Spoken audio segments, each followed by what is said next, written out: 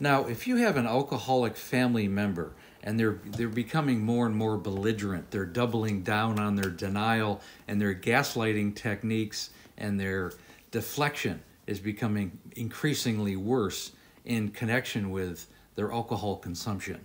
Uh, you know, in other words, they're blaming everybody. They're blaming the family, their parents, society, their school, um, their kids, their spouse, everybody but themselves. And they don't have a problem.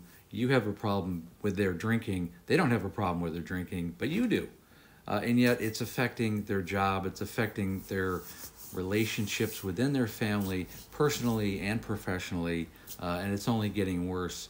And the more that you try to confront it, the more they they they pull back, uh, and they get worse in their defiance. What do you do in this case?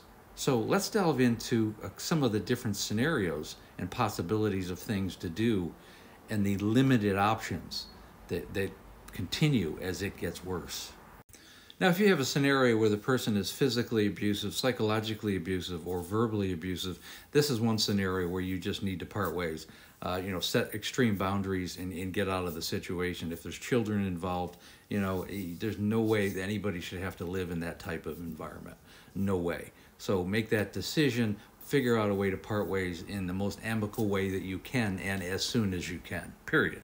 Now, the real question is this when someone is, when an alcoholic in your family is doubling down on their defiance, what does the family do then? Well, there's only a few options. Okay, you have to set a boundary. In other words, our relationship is going to change. Uh, if you don't alter your relationship, if you're not willing to go to a detox rehab and identify your denial, uh, that our relationship is going to change. Uh, we're either going to part ways or we're not going to talk to you anymore or your, your existence in our life is going to be much uh, drastically limited. Uh, unfortunately, there's only so many options families have, and unless the person is ready to change, you can only deal with your side of it. You can only control your side of it, and you have to protect your own emotions, your own mental health. That is should be your priority as well.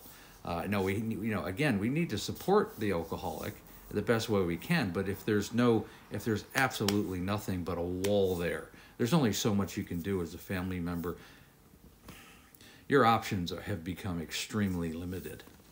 And the thing is, if you have you know given your options, if you have defined your position with the alcoholic and there's still no movement, well, that's your answer. Sometimes the non-answer will be the answer.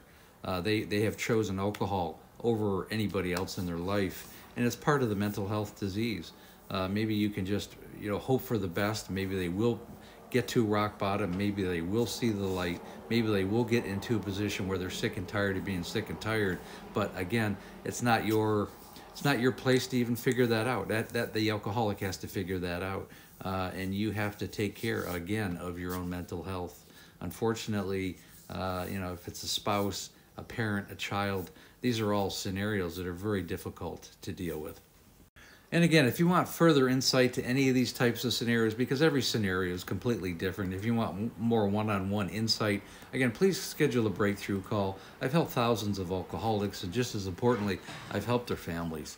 Uh, which is really you know reason why I do this. And again, please like, share, and comment. We also have a Facebook group called Amanda a cautionary tale of alcoholism, which is becoming a very good support group. And again, thanks for listening.